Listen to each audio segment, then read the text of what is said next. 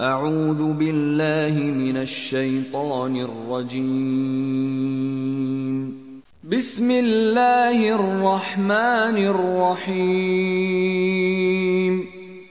Beldeler içinde benzeri yaratılmamış ve yüksek binalarla dolu İrem şehrinde oturan Ad milletine, vadideki kayaları oyup yontarak sağlam evler yapan Semut milletine, çadırlı ordugahlar, piramitler sahibi Firavun'a, Rabbinin ne yaptığını görmedin mi?